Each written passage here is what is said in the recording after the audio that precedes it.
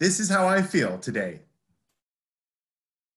We finished, I teach horticulture at UBC Botanical Garden. And on Friday, we had our last day of classes. It's been a year that I will never forget because, of course, we had to go to online training. Whoever thinks that when they sign up for a horticulture program, they'd go online. But you know something? It went really well. We had visitors from all around the world to pop in as, a, as guests on our Zoom our Zoom sessions and um, and locals as well, industry people, plant people, it was great. We had a really, really good ending to the year, and it was a really good lesson for me in terms of student engagement and the use of technology. And the students were so determined and committed, and we all finished, and it was just terrific. So everybody feels so good.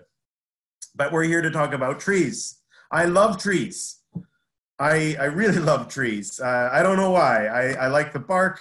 I like big trees, I like small trees. And I want to talk about a few trees, a few really fantastic trees that I've seen that uh, are not at Lighthouse Park just before we uh, get going. So here, this is the Harris Creek spruce. And the Harris Creek spruce is on uh, Vancouver Island. And uh, it's not far from Port Renfrew. It used to be the largest Sitka spruce in the world until a couple of years ago the top broke off, but it is, it has a massive bole. I mean, that is one big slab of wood. And on our North Shore, we're so lucky because uh, you don't have to go very far to see big trees. You know, up in the uh, Seymour watershed, if you ride your bike up to the Seymour Dam, which is uh, paved, there's a short little interpretive trail that takes you to these old growth Sitka spruce, and this is uh, one of the trees in that grove. So when the area was logged 100 years ago or so, it was too wet in this area to cut down trees with the equipment that they had, and so they left this grove of old, old growth Sitka spruce, which is uh, pretty incredible. There are a number of big trees on the North Shore Mountains, and there's the big tree registry and i've uh, sought out many of these big trees it's a lot of fun actually to to um, look for you know the, the north shore was logged but they didn't get everything and it's really fun to try to find the ones that uh, that, that got away There's uh, one of the biggest trees on the north shore big douglas fir and also outside of bc um, this is a an old world sycamore, and this is on the border of Bulgaria and Greece. I didn't expect this day uh, to see these trees, but we were wine tasting, uh, wine touring in a really fantastic wine region of Bulgaria. And then I uh, learned uh, on a particular day that we were near this, this uh, forest that had old growth sycamores and a lot of the trees are seven, eight hundred years old. The, there was one we saw that day at a church that was 1,200 years old. And here's another tree from Bulgaria. This is in Sofia. This is an amazing tree. It's called the Forever Tree. That's what uh, my, my Bulgarian isn't very good, but that says uh, uh, Vekovno uh, Dobro, uh, Durbo, Vekovno Durbo, which means for forever tree. And um, uh, according to this sign, it was planted 650 years ago from whenever this sign was put in the ground. So I'm assuming, I'm assuming it was put in the ground within the last 20 years. And there it is. So this is a, a street tree that is over 600 years old. Where it is, is urban Sofia. And 600 years ago, that it was urban Sofia. So there's um, uh, springs where you can fill up jugs with uh, you know fresh spring water. Uh, this is right downtown Sofia, like right across the street, and those springs were there. Like they've been there for two thousand years. People have been using them. It's been a city. It's one of the oldest cities in Europe, and this was a street tree, an urban street tree that survived 650 years. Vancouver's urban street trees, the average the average lifespan of Vancouver's urban trees is like eight to 12 years. Includes all the ones that fail within the first year, I suppose. But uh, 650 years. But not only big trees, but uh, little trees as well. So here's the Fairy Lake spruce. This is actually five minutes from Port Renfrew. It's just on the side of the road I took this picture. But uh, this is a cute, sweet little Sitka spruce growing on an emerging little island in Fairy Lake. And it is actually uh, intertidally uh, when the tide comes in, the, the, the water level rises and, and to the point where you can actually see the tree only just on the surface of the water, which is, uh, I've never seen it at that point. Anyhow. And in the Metro Vancouver area, this is at Riverview Hospital. If you want to see some great trees, this is uh, Tilia tomentosa, silver linden. And this is um, a massive tree. You know, when they're young, they're like, it, trees are interesting. They're like people. You know, when when I was a teenager, I shot up like a rocket, and I probably my limbs looked disproportionately long, and I might not have, um, you know, my proportions were off because I was growing fast. And trees are the same way when they're young; they uh, they look like you know leggy sticks, and then you know trees that we often see in the city are somewhere in the neighborhood of 25 to 40 years old, 50 years old, and at that stage a lot of times trees will round out and they are sort of oval in shape, depending on the species. But in the, in the case of Tilia tomentosa, it's like an egg and um, a little bit narrower at the top, like a nice ovoid shape. But then as it matures, it grows straight up and gets a flat top, which is fascinating to think that the form of the tree would actually change over time. And uh, I guess I'm changing my the form. My form is changing over time. I'm um, I'm broadening out in areas that uh, the last ten years. Anyhow, this tree's over hundred feet tall, big linden, and there's my friend Linden, and he's at the bottom. He's about six feet tall, so you can sort of see how big that is. Big tree. And then I really love urban trees that uh, I love these industrial urban trees. Like you know, somebody started this um, body shop uh, in the I don't know when they did, but decades ago. And they decided to plant this hedging cedar. This is a hedging cedar in this tiny, tiny, tiny little pocket in a sidewalk. And I can just imagine it was probably four or five feet tall when they planted it. And, um, you know, they put a plant in the ground. And decades later, this thing has just grown. And uh, I, I love stuff like this. I really do. I love urban stuff. I like seeing plants that just survive in the city. Anyhow, that's just a little a little teaser on trees. Um, I could go on and on and on about trees that I like, but just to kind of get you into the mood. So today I, I wanted to focus specifically on the trees of Lighthouse Park.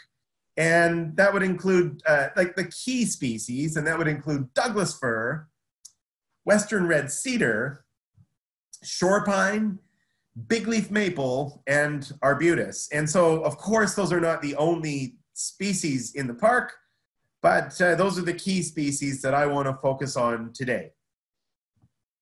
All right, and uh, here's a, an overview look at the park. Uh, last, last week, we looked at, um, at the park kind of like a, from a geographical standpoint, and looking at this image right now, I do really like to think about the topography of the park.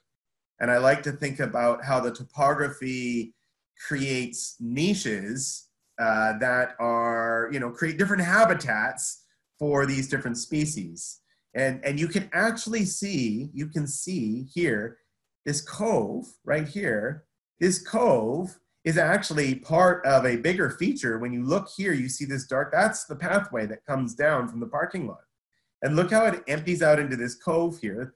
The cove is just the valley that continues into the water and you get a cove. And so you get more moisture that accumulates in the valley and you get different tree species. And last week I showed you, see this cove here, I showed you, and you can see that shaded area. You can sort of see it. Um, that valley there, you see a lot of cedar trees. And up high on the ridges, you see a lot of Douglas firs. See Douglas firs up high, cedars down low. It's the way it works. Moisture, dry. You know, and that's the great thing about looking for trees. And you can also see, can you see this darkened ridge here? These are mostly Douglas firs, and this is the trail that goes down through the Valley of the Giants. And so there's some very, very large trees here. and you can actually see it in the topography when you look at an aerial shot. So let's start with Douglas fir. Somebody, when I worked at VanDusen Botanical Garden, one of the staff there sent interview questions to all of the gardeners, and one of the questions was, if you were a tree, what tree would you be? All right. And I quickly just said Douglas fir. It's because I grew up in Lynn Valley and really close to Lynn Canyon Park. When I was a little boy, I'd go down to the river and uh, you know throw rocks into the river, make little dams, try to make bridges across Lynn Creek. We would play hide and seek in the woods. My friend's house backed right onto the forest, and so my childhood as a teenager, you know, I discovered hiking and swimming in the creek. And all through my life, I've uh, had a very strong connection to the North Shore Mountains. And for me, the smell of Douglas fir is something that I identify with. I think that uh, if I close my eyes and imagine the scent of Douglas fir, it just brings me to my my youth, uh, where I grew up, where I come from. To me, it, that tree represents my home and where I come from. So, is it my favorite plant? I don't think I have a favorite, but I certainly identify with Douglas fir. Here's a big one. This is not at Lighthouse Park, but this is um, probably the most. Well, I don't know. I like this tree. This uh, this is the Temple Giant and it is in the, um, the Big Tree Registry. This is in the Seymour Valley.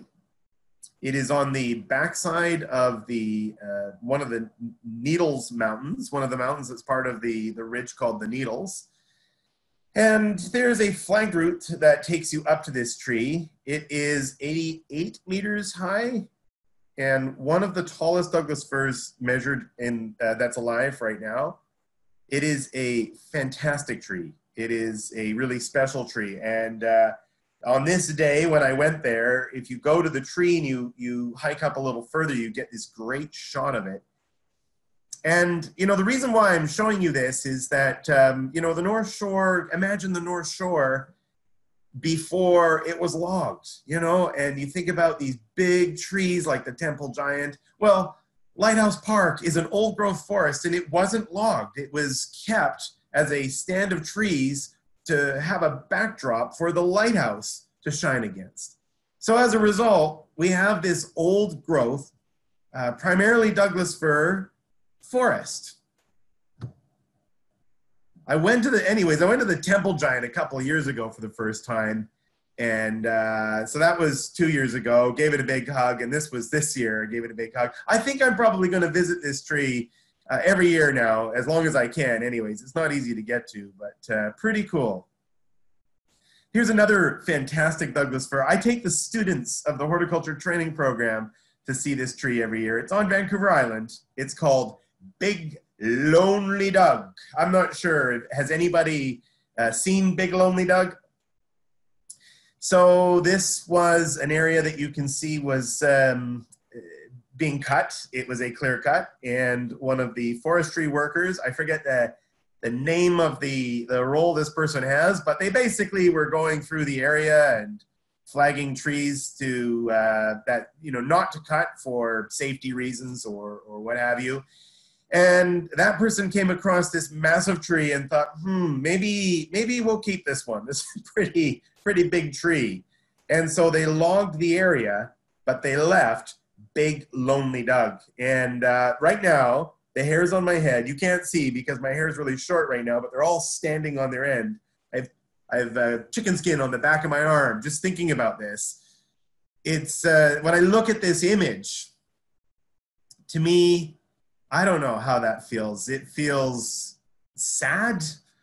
It feels also hopeful there's poetry in this. There's this, uh, you know, this clear cut with this um, this um, triumphant emerging Douglas fir. To me, it is a uh, a symbol. It's a symbol of, um, resilience and uh, perseverance, and yet it's um, frightening. it, it also just shows uh, that what what humans are capable of and uh, the impact that we're having on the earth. It's uh, a lot of thoughts come to mind when um, I see Big Lonely Doug. And I've been visiting Big Lonely Doug now for the last uh, six years annually, and that's uh, I want yeah think about all the trees that I make annual visits to. I make annual visits to that um, mulberry and Sofia and uh, Big Lonely Doug.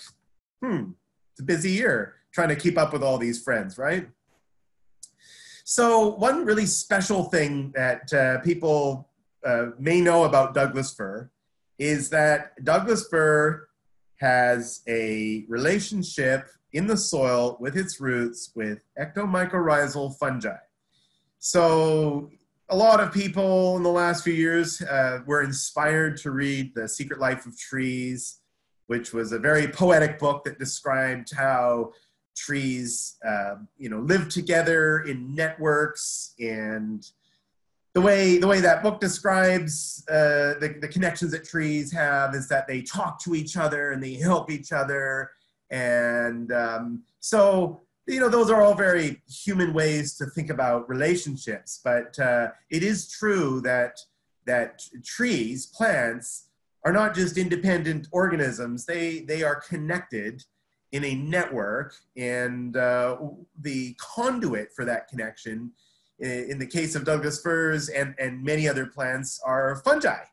And so, for example, this uh, Amanita here, you know, is um, that's just the fruiting body, what the mushroom. When you see a mushroom, that's just the fruiting body. That's just the reproductive structure of a much larger organism. And so that organism, uh, the mycelium is the vegetative mass of fungi when you ask somebody what is the largest living thing on earth, people often say a blue whale, or they'll say it's a giant redwood. But in fact, the largest, the most massive measured organism on earth has been fungi because one organism can have a vegetative mat of mycelium that occupies many square kilometers of one organism. And it's incredible to think about the services that these that the, the, the fungi provides. And so fungi in general are either going to be parasitic, meaning they you know, derive their nutrients from something that's alive, or saprophyte. So a saprophytic fungi, it is a decomposer, and so it's getting its carbon from something that's dead, and it's uh, part of the you know the decay process. But uh, so there's you know that's the way that's part of the carbon cycle but when you think about other services that fungi provide the mycelium which is that vegetative mat of you know of tissue in the soil and you can see these white strands that's mycelium and it acts it acts like uh, rebar in the soil Do you know what i mean like it uh, it's a it's a mesh of vegetative tissue that essentially holds the soil together. It helps this, it helps create structure in the soil. So, um, for example, like roots do this. You have soil particles in, that include sand and silts and clays and some organic matter, and those particles bind together and form PEDs, little aggregated, you know, pea size and shaped balls of soil particles that stick together and one of the one of the uh, catalysts for that aggregation of soil particles into structured structured um, aggregates, roots do that, but mycelium does that as well. So the particles will stick to the threads of mycelium, and the mycelium actually helps pull things together and create structure. And that's important because when you have soil that has good structure, in between those PEDs, you have big channels, and that's where water and oxygen flows. Also, within a PED of soil, you have micropores, and those micropores, that's where you know water is stored like a sponge. And so there's a lot of you know the mycelium, the mycelium in soil actually does a lot physically for the quality of soil.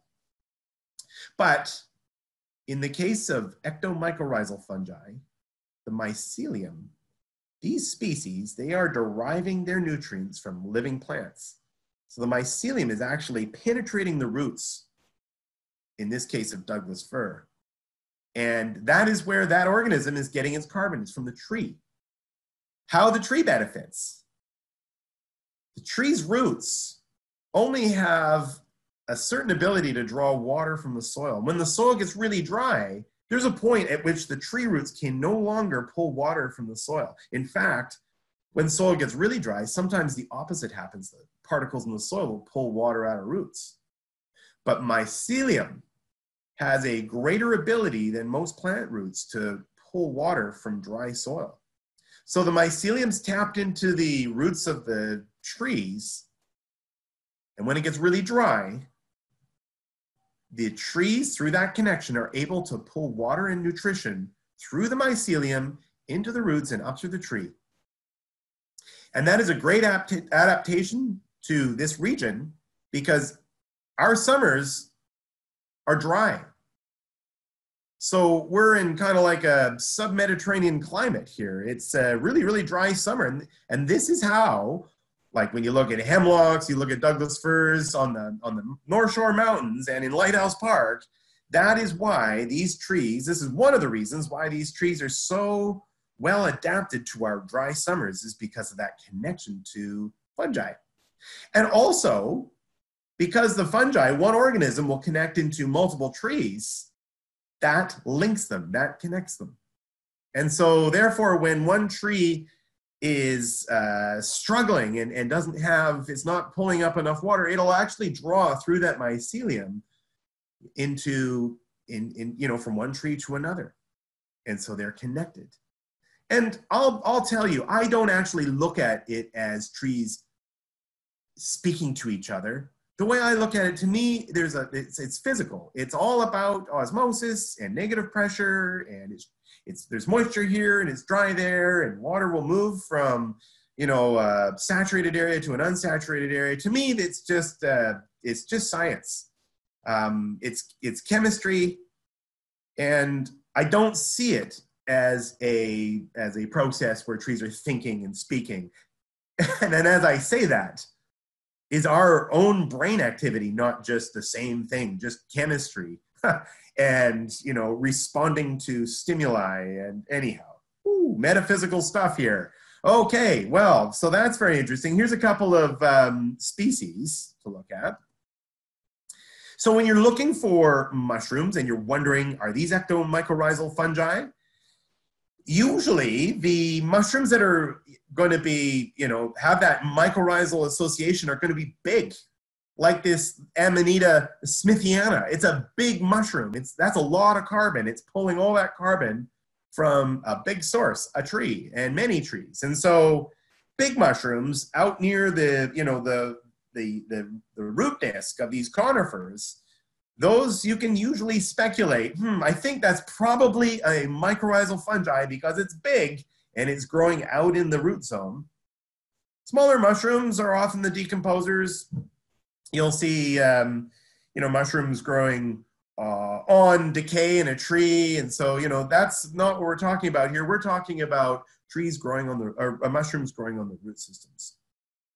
Here's a neat one. Um, and these are some common ones. These particular species are species that are found um, not just locally but found locally and specifically relate with Douglas fir. So pretty well anywhere Douglas fir grows, these uh, fungal species grow. Uh, a neat one, of, uh, so Gomphidius subroseus, and, and I'm not a mushroom expert, so you know these are things that I've read. This is not my area of specialty, uh, of expertise, but um, so where it was observed that Gomphidius subroseus, uh, uh, its distribution zone, um, and this Aspuilus pictus, they were often observed uh, growing together. And so the, uh, you know, it was, uh, the observation was made that they, they often occur together with an association on Douglas fir. But what is, what has been learned is the, um, first, the Gomphidius, it makes its association with the Douglas fir roots. And then what happens is the Aspuilus taps into the Douglas fir, but through the Gomphidius. So it it penetrates the mycelium of the Gomphidius. The Gomphidius penetrates the roots of the Douglas fir. So there's kind of layers of dependency and interconnectedness. And that is the magic of the forest. Have you ever seen one of these? Has anybody ever seen a living stump? So what's happening here?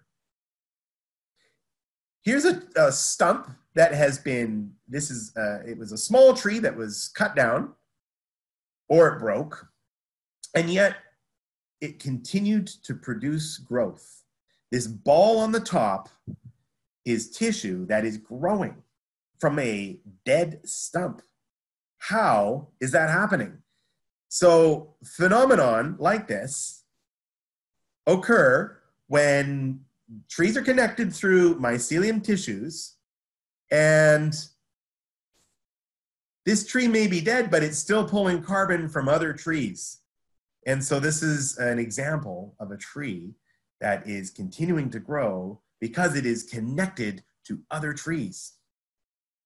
So that's something to look for when you're at Lighthouse Park. Look for living stumps. Uh, does anybody know the location of some living stumps at Lighthouse Park? I do not. I, I don't. I do not. But I know of some. This one. This example here is at Pacific Spirit Park, and I work at UBC Botanical Garden, and I often ride my bike through the park, and I'm always looking for living stumps. It's a fun thing to do. So I know where this one is, and I know where about three or four others are on the side of the trail. Very cool.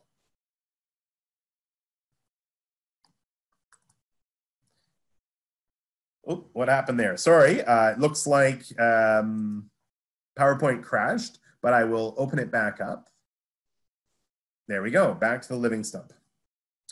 Another magical entity in the forest is Corallorhiza striata.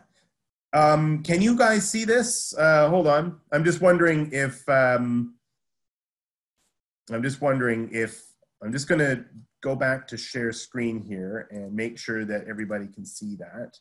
Uh, there we go. We're back on track.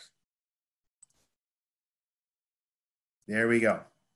So, back on track here. Another magical organism in the forest are the coral root orchids.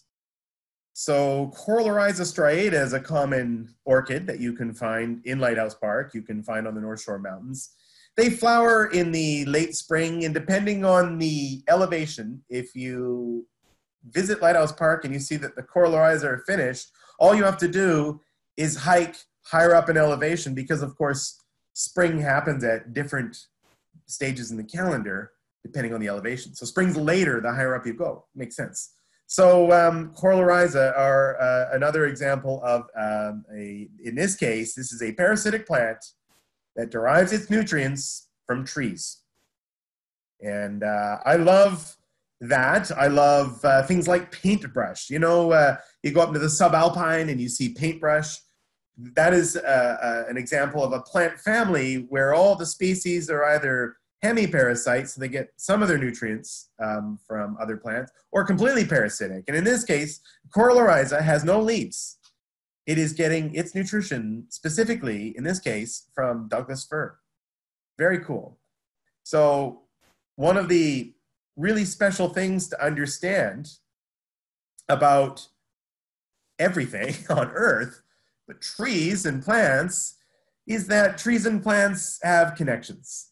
And the mycorrhizal connections are, you know, one very easy ex- example to understand. But uh, when and next week we're going to get into uh, plant ecology more more deeply, and we'll talk about the interconnectedness of, of uh, different species. And it's so fascinating to look at the world and ask, you know, how is the environment affecting these plants? And then the other flip it and say, how do these plants affect the environment? And what connections can we make? And you know, how are they, you know, how are these plants affecting other plants, animals? Ah, that that's plant ecology. It's uh, a fascinating and uh, really complex and beautiful thing to consider.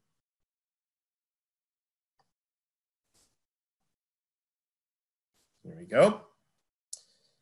So Douglas fir at Lighthouse Park is mostly found in the areas where it's a little drier. So here is an image from the uh, one of the higher points in the park. And you can see there's this kind of bushy, younger plant. And here's some older ones growing out of just the rock, you know, which is incredible. And that's, you know, it's really, I just think, in, marvelous. Like when you think about that word, it, I marvel at this. Uh, it's marvelous that plants can grow where they grow. Like we're talking slabs of granite and crevices in between where the granite's cracked apart, and um, and you've got trees growing in those those crevices. And over a long period of time, if you think about in a post-glacial world, all this rock would have been wiped clean of soil and you would have had pioneer plants that mosses and lichens and herbaceous things that would have started to grow in these crevices and uh, live and die and decompose and sand accumulates and you've got organic matter and sand accumulation and soil. And then you've got maybe a douglas fir seedling that germinates in that crevice and becomes a big plant. And what's incredible about that is you know hundreds of the, uh, years of that thousands of years of that eventually these trees are like wedges in the rock and they'll eventually break the rock up and um, and also they cycle carbon. And so a small little seedling a douglas fir seedling that becomes a big tree all of that tissue is all carbon. Where did it come from?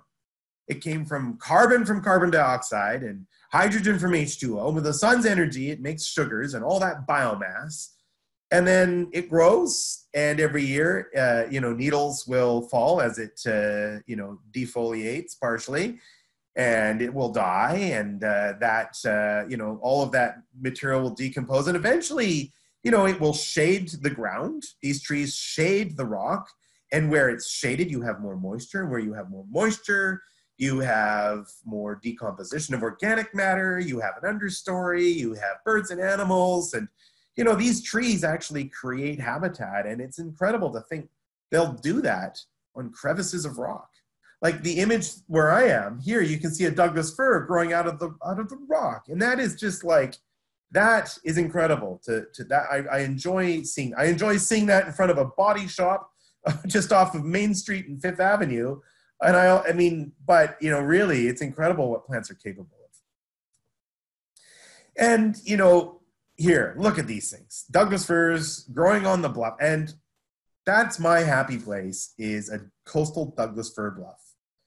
You can see here's a relatively young tree that's having some dieback, but uh, you know, that's not a bad thing. This is these are trees that are growing in uh, really, really exposed environments and they get wind pruned and they develop so much character over time.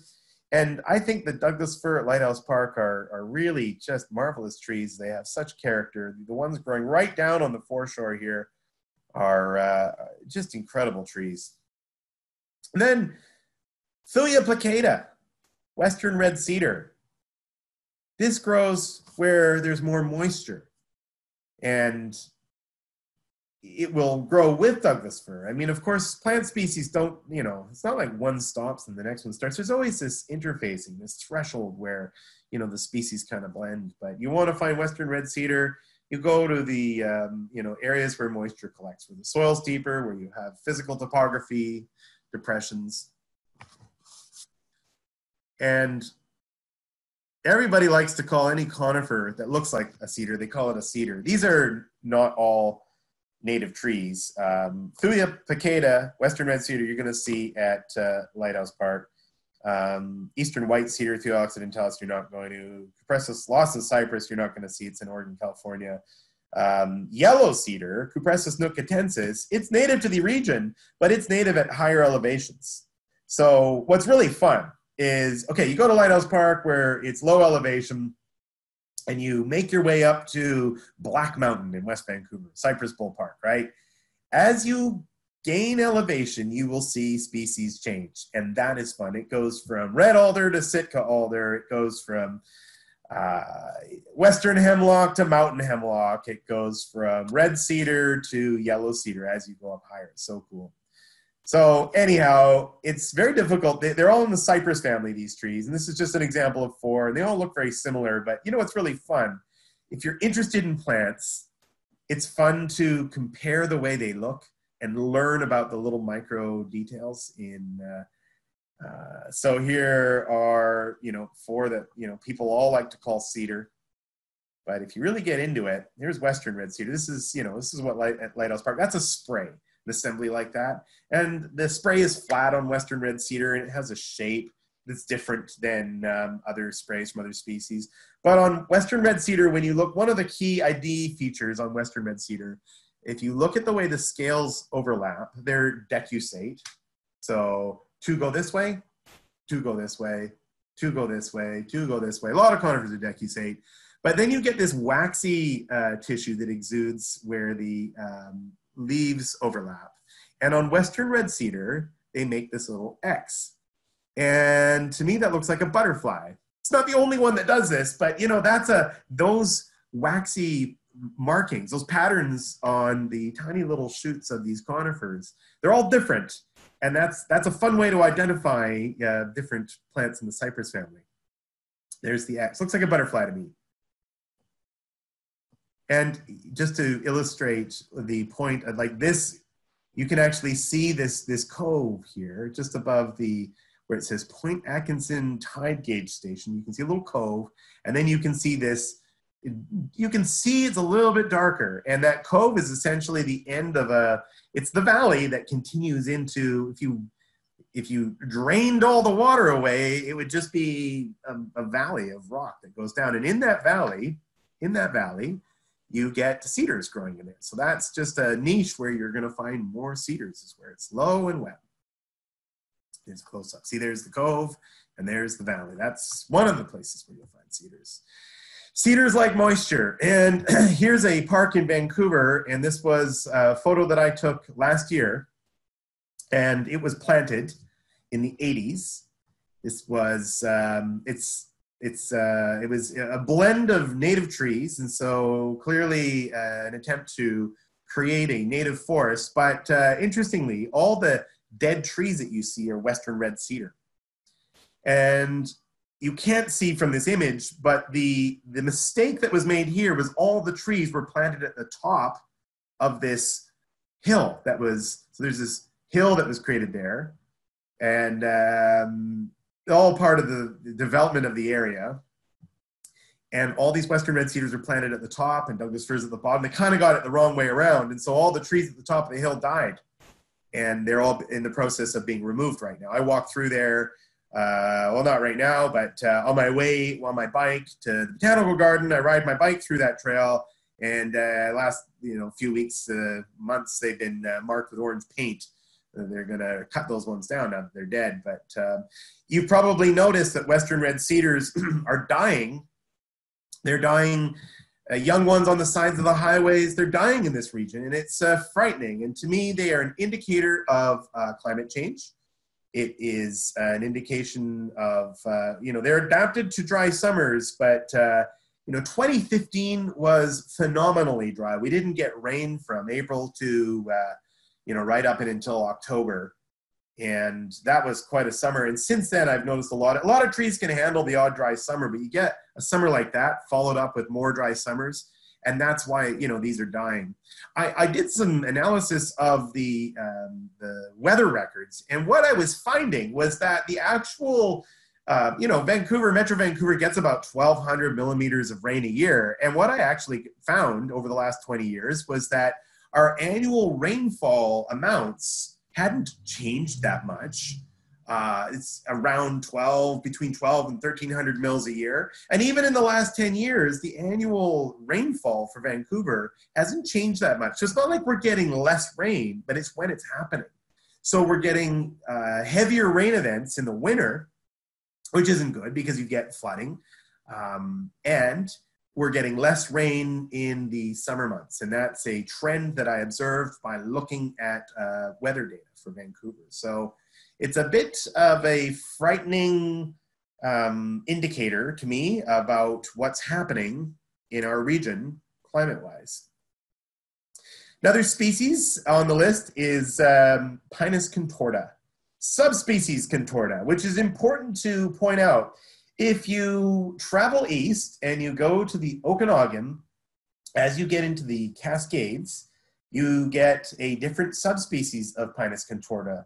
On the coast, we have shore pine, but then as you get into the interior, you have lodgepole pine, and lodgepole pine has a completely different form and growth habit lodgepole pine grows like a lodgepole and um, and has a much different form. It's a subspecies. It is fire adapted. Lodgepole pine. The seeds will only germinate after a fire. The seeds themselves are coated in this waxy substance that has to melt off. Whereas Pinus contorta, subspecies contorta, grows on the coast and it has a much different form and a much different growth habit. And so the word, the specific epithet contorta, people often think it, res, it refers to its contorted growth habit. No, no, no, it's just the leaves twist, so the leaves are contorted. But, but uh, Pinus contorta, subspecies contorta, uh, has a particularly um, contorted growth habit. Now, if you're really into taxonomy, there's Pinus contorta, subspecies contorta, or a variety uh, contorta. So it's Pinus contorta, contorta, contorta. that's um, that's kind of fun. But the the species contorta grows all the way down to California, and you get um, subspecies latif- uh, latifolia in the Cascades. You get murrayana bolanderi in California, and uh, so it's a neat species. It has a uh, a, large range of distribution and uh, many different, um, uh, a few different subspecies uh, in, in those in different different parts of that bigger region. So um, kind of neat. Here's a little contorta story for you, a shore pine story. I did some, I do landscaping work off and on. I can't not. It's just like I was put on this earth to build gardens. And there was a site in West Vancouver where the uh, homeowner had expressed an interest in uh, renaturalizing the foreshore. It's very close to Lighthouse Park. So I thought in, in your landscape, you shall have a shore pine it's perfect. It's adapted to the salt spray. It can grow in the foreshore. You know, this is where it grows naturally. Let's reintroduce this native species. And so I'm proudly showing off my um, my pyramid or my my tripod uh, block and tackle tool here.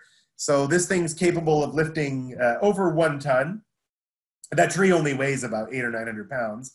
But uh, there's my truck and uh, just got the tripod, hoisted it up, and drove away uh, because uh, my my co colleague here and I are going to now get it down 80 stairs uh, without damaging anything. And so uh, we got it down to the bottom, and I wanted to furnish this corner with it. And we use how do how does one get a tree? Uh, you know, when it's waterlogged that weighs maybe 900 pounds, you know, up four feet into um, a planting pit. So block and tackle. I love tools like this. And of course, I get uh, my friends to do the work, and then I take the credit. This is how I operate, anyhow. Um, Acer macrophyllum. This is a great uh, tree. This is the tree that has the, it's a maple with the largest leaves in the world. There's no other maple in the world that has bigger leaves than Acer macrophyllum. And the largest one, somebody uh, on Vancouver Island, they were like 60 centimeters across measured. So that's a that's a thing. If you can uh, top the world record for measured big leaf maple leaves, uh, what a fun thing to do. You'd have to have one in a wet area and a, after a, a wet spring, I, I, I guess. Um, anyhow, so we identify as a country with maple leaves, do we not? Not big leaf maple, I'm thinking sugar maple is probably uh, more in line with what you know Canadians who you know came up with the symbol for this flag. But you know maples, and we don't have pennies anymore. But the maple leaf was on our penny, and, and this is not a big leaf maple. In fact, you know something?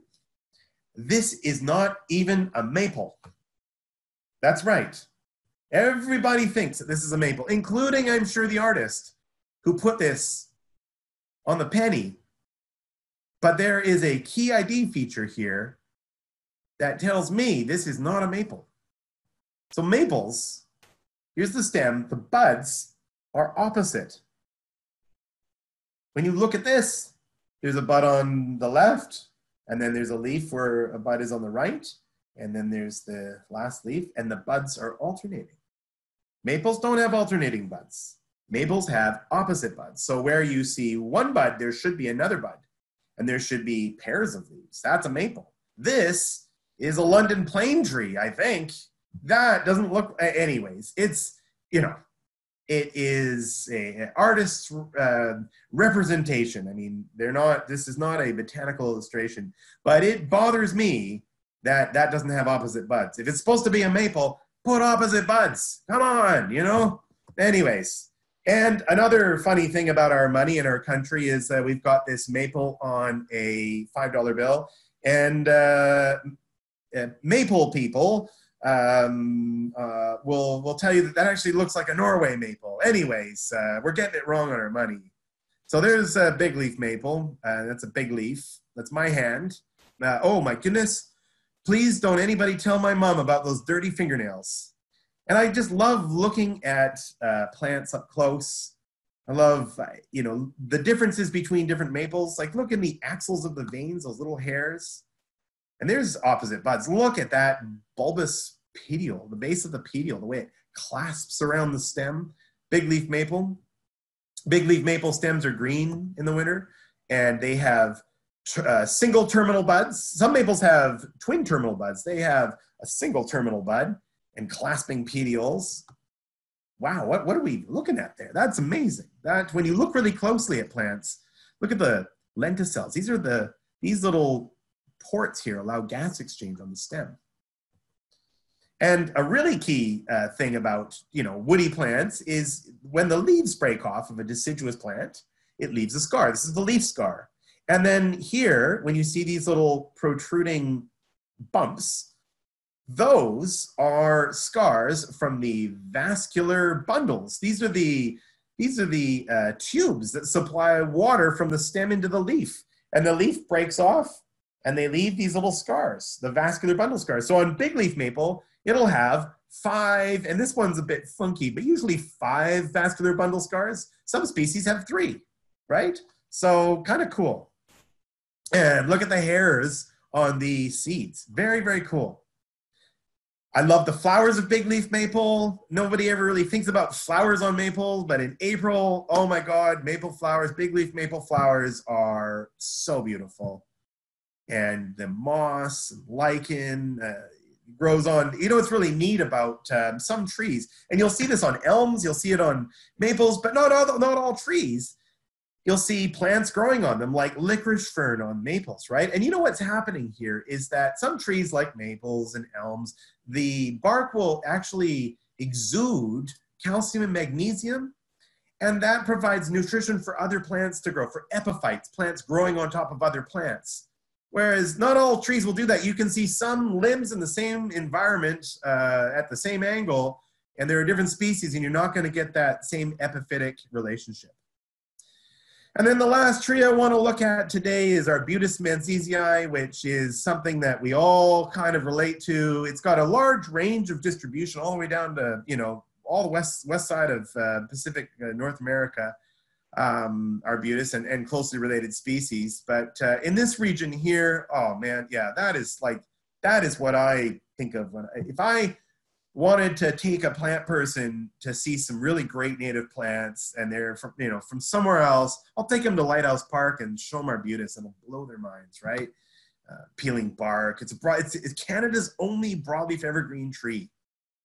And you know, here's an example though. They're dying at Lighthouse Park, and they're dying in the region, and um, it's it's very disturbing. There's a lot of theories as to why they're dying. You know, they're very sensitive to changes in the environment. Uh, um, one of the things about Lighthouse Park is that this is a, a habitat where forests, uh, where fire is part of the ecological cycle, and there haven't been many fires. After a fire, you will have bare open area and you'll get young arbutus trees and eventually they'll kind of die back and conifers will grow. And the lack of fire disturbance has actually left a lot of older trees.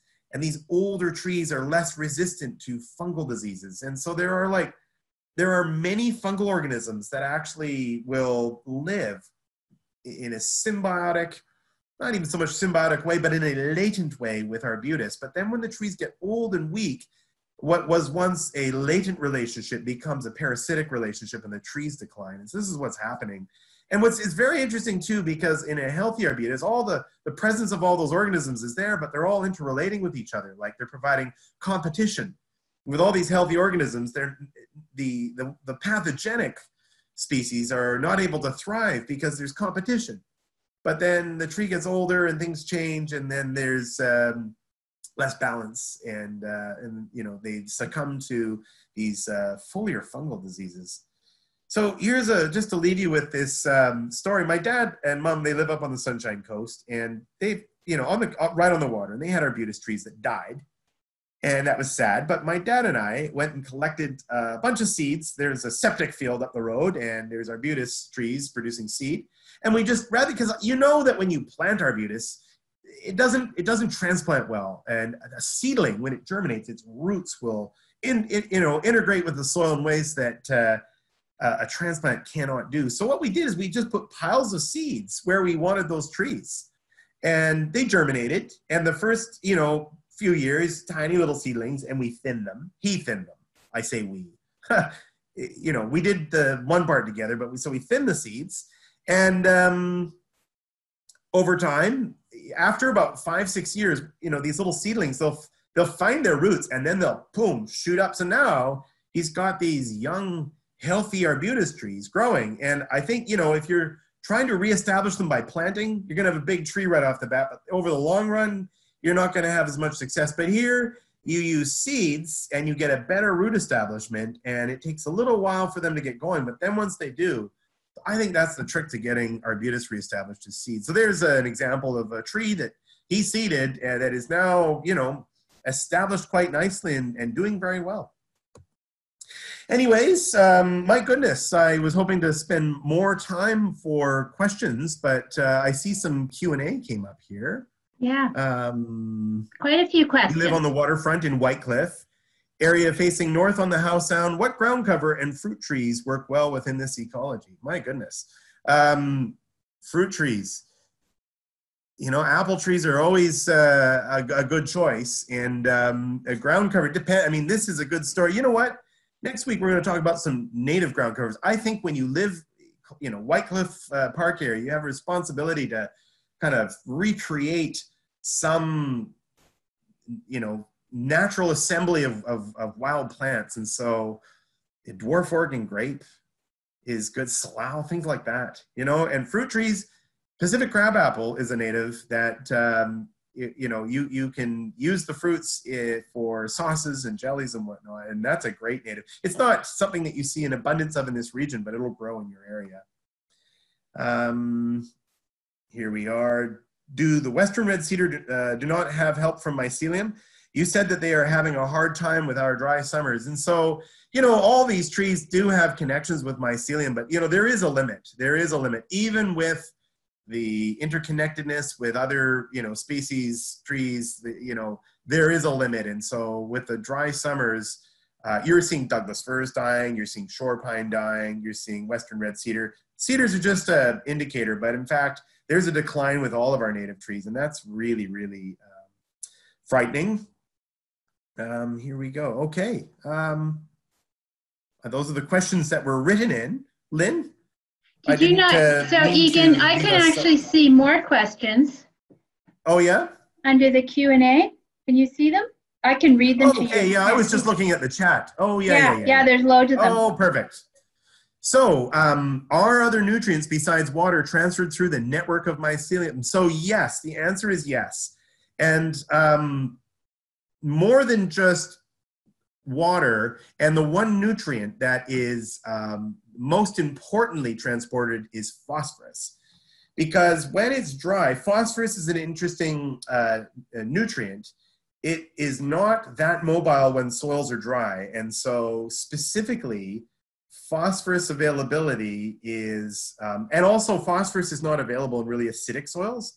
And in this region, we have a lot of rain, we have mineral soil, so our soil pH is really acidic. So the, the fungal mycelium uh, facilitate the uptake of water, nutrients, and specifically phosphorus. So it's, it really is incredible, um, you know, the, the connection that trees have with fungi. And um, somebody, uh, Elaine mentioned there are a few um, uh, closest on Juniper Loop, and I'm, I'm assuming that. I think she's talking about the living stump. Remember, you were oh, showing oh, that, and you, and you, were asking, "Are there any in Lighthouse Park?" Ah, oh yeah. Okay, I need to see these.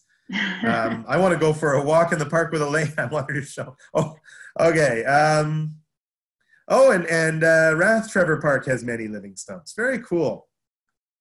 This is an answer rather than a question. Great. Yes, there are at least two examples of living uh, stumps in Lighthouse Park. Uh, Elaine has posted a photo and explanation of the largest one on the bulletin board uh, just off the parking lot. That living stump is on Juniper Loop, not, not far from Seven Sisters Trail. Oh, great. Thanks, Sue That's really great. Here's a question from uh, Chunyan Lee.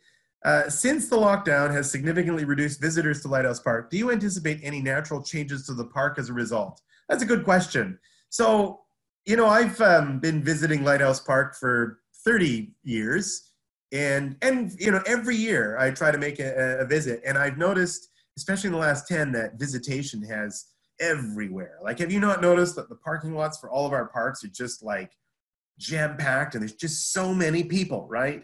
Um, and the impact on the parks has been really, really devastating. Not just Lighthouse, but all of the parks um, and you know people love these places uh, to death right has there you know what kind of rebound would you see with uh, a few so far as you know maybe eight weeks of uh, or even six weeks of less visitation um, I, I, I, wouldn't imagine you'd see a ton of, um, of rebound. Some of the, the species that have disappeared from Lighthouse Park are not going to reappear. It takes time. You know what?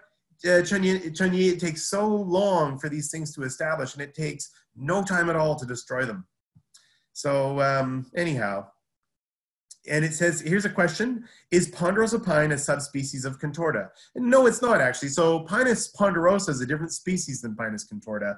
But all of the pines in, um, uh, in Western North America, the pines, you know what's really fun about pines is if you look at their needles, they'll be assembled in bundles of two, three, or five.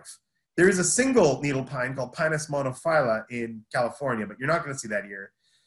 All the um, uh, Western North American pine species are two needle. Well, I should no, no, no. I shouldn't say that. But there is a group of um, three needle pines. So Pinus contorta is a two needle pine, and uh, ponderosa is a three needle pine and there's a, if you travel up and down the west of North America, you'll see ponderosa, jeffreyi, sabiniana, coulteri, all three needle pines. And they're all really, really cool. Uh, uh, and contorta's in a different group of pines. It's in the two needle group, not the three needle group. Pines, uh, they all look the same when you're not that familiar with them, but uh, they're not. And um, I, I, got into a thing with pines a few years ago. I got really, every year's different um, is the big leaf maple a climax tree? So no, actually the climax species in this region is western hemlock. And so what happens is you get a disturbance like a fire and you get a bunch of herbaceous stuff and then you'll get alders that grow, but you'll also get big leaf maple that grow in openings where they're not shaded out by other trees. And big leaf maples are, are short-lived species. So they, you know, after about 70, 80 years, they're very brittle. So in, a classic thing with pioneer species is that they're short-lived, they break easy, they decompose fast. Big leaf maples in that category.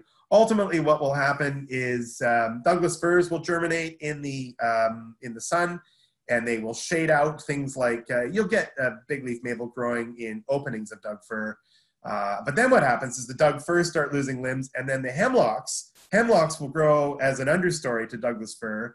And when the hemlocks uh, when the Douglas firs uh, break and die and thin out, then the hemlocks shoot up. So that's the climax species of the region. Um, why don't we plant uh, new arbutus trees there? So I, am not involved with the uh, reclamation of Lighthouse Park, and um, I, I, I would imagine that there is some discussion and there there must be some um, you know uh, reintroduction of the you know arbutus trees uh, anyhow, I don't know what's going on in that department, but my suggestion would be to rather than plant nursery plants, uh, I would collect seed and um, and I would put seed in, in, the crevices where you want to see the arbutus reestablished. Uh, I think it's a better way to get an establishment of arbutus trees.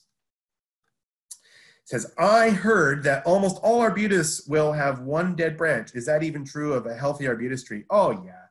So people look at thing like people look at dead branches and decay as a bad thing, but decay is a healthy part of you know plant ecology. And so yeah, all plants are going to have dead branches and dead leaves, and that is part of part of the life cycle, the healthy life cycle of a plant. So even a healthy arbutus tree is going to have dead branches. You know, gardens we prune out dead branches, and uh, there's something we want. Humans want everything to be healthy and uh, organized, but that's not the way things are in nature. Does it damage the large tree, uh, large fir trees if people constantly walk around the base, compacting the soil? And the answer to that is yes, because Douglas firs, hemlocks, and cedars, their roots are in a big disc shape, and they are actually uh, more rooted more closely to the surface than uh, a lot of other plants. So, like oak trees have very deep roots. Those conifers have very, very shallow roots, and ultimately, uh, foot compaction, you don't think it's very much, but um, over uh, many years, thousands of people, um, you know, a foot isn't very big. And so your weight concentrated on that small point actually creates a lot of compaction. And not only will you compact the roots of the trees, but you will compact the roots of other associated plants. And the health of the tree is dependent on the health of all of its associates. And, um, you know, walking on soil creates damage and impact, and that impact will have a detrimental effect on the forest in general. So, directly and indirectly. Hi, Egan. You didn't mention Western hemlocks in the park. Are there uh, many, and how are they doing? So there are hemlocks in the park, and um, why didn't I feature Western hemlock? I uh, I didn't. Um, how are they doing? Hemlocks uh, generally in the region are um, showing signs of drying summers. Hem- hemlocks require a lot of moisture. Like if you've ever planted a hemlock in a garden, they don't do as well planted as they do in the forest. And hemlocks are actually a species that really depend on the fungal associations. And without that, they tend to really, really dry down. And uh, in the region, I've seen hemlocks producing a lot of seed. Hemlocks are very brittle trees. They, um, they, they're you know, on the west side of Stanley Park, and we had the the microburst of wind in uh, 2006. It was mostly hemlocks, and they just, you know, they're really, really shallow rooted trees. So in the region, there's a, a I've made the observation that they're not doing as well in the last 10 years. You can see hemlocks producing a lot of seed, a lot of dead hemlocks. Uh, question here. Time to collect arbutus seeds and uh, medium to plant in. So you know what? A medium to plant them in is where you want them. Because when a seed germinates, the first thing it does is it puts a root down. And if you put, if you sow seeds in situ, meaning in the location where you want them to grow, you will have a root system establishment that you can never, never recreate by growing plants in nursery in a pot and then transplanting it, you're always going to have a, a root ball, and the roots are going to be affected by the pot, and they're never going to grow out of it. Uh, sometimes really badly, but even if they are successful, it's just not going to be the same as a seedling that germinates. And so, you know, you can grow an arbutus in a pot with peat and perlite or coir, coconut husk, whatever, but um, it's never going to. They don't, and that's a species that does not transplant well. So my suggestion is in situ sowing, where you want to see them. I hear discussion from time to time about replacing native trees that are dying from climate change with other more drought resistant species. Are there issues with this approach on uh, native species and wildlife? Oh, good question. Now, uh, another park in the region, I saw uh, incense cedar um, being planted in what I would call a wilderness area. And this is um, um, done by volunteers. And I don't know why that's the case. So incense cedar is a species from California. It's called Calocedrus decurrens. And um, so it's a species that is better adapted to drier summers. And uh, the question is, over hundreds of years with a drying climate, will would you see a migration of these more uh, like a southern species? Would you see their distribution range extend more further north? Yeah, you would. But is it responsible for people to make that decision and then start plugging Californian species into a, a wilderness area here? Oh, I don't think so. I don't. I think that um, then you're really, at, you know, mixing species through human management uh, in wild areas. I don't think so, personally. Um, I think in urban settings, yeah. I think in the city, uh, I think it's a really good idea to look at plants that are from Mediterranean climates for our cities in tree wells and next to buildings and uh, you know heavily disturbed areas. But in a wilderness area like lighthouse park um, you know you could you could have a discussion around that. But my feeling it would be very hard to convince me otherwise that uh, the best thing to do would be to allow the species that are already in the park to you know you'll probably see fewer western red cedars and more douglas firs if it start it continues to get drier um, but I wouldn't introduce, say, or, or, you know, species from Oregon or California at Lighthouse Park. I just think that's irresponsible, personally. Um, what are your thoughts on forest bathing? I think that being in the forest is. I need to. I need to be in the forest right now. In fact, uh, I've been. I've been in my apartment. I've been uh, behaving responsibly, like many of you probably have been too, and uh, I'm really feeling uh, with withdrawal from not not just being in a forest, but just being in a wilderness area. Um, forest bathing is, you know, actually, you know, in a closed canopy forest, but you know, the feeling that I get when I'm somewhere wild, like whether it's a, you know, treeless environment or coastal environment or forested environment, there's something makes you feel very small and uh, it makes you feel like you're uh, you know a less significant part of a much bigger place. And um, i need that right now personally. So i think forest bathing is great. I was contemplating going to lighthouse park and taking pictures for this but i decided to stay home and uh, and and not do that because i'm, I'm trying to stay home. Um, but anyways we'll, we'll we'll be out there again. Um, yeah. I, I think that's uh, the, the, last question on the list maybe a good place to leave off. Aylin, yeah. i don't know yeah, I think so. Yeah. Um, so thank you so much, Egan. It was almost as good as being in the park in person. And as you say, we will be there again. Yeah. Um, and we'll be with you again next week. So um, thank you everyone for coming today. Uh, we will have one more visit to Lighthouse Park with Egan in this virtual environment, and that's uh, next uh, Sunday at 2. I put out the registration form on our website, and um, I can actually email everybody who attended today uh, a link to that site as well, so you've got it. Um, yeah, so that's great. And uh, we have been recording, so we will figure out a way to get this up on the web somewhere, and I'll let you know next week where, where to find that. All right, thanks so much. Bye-bye. Thank you. Bye, everybody.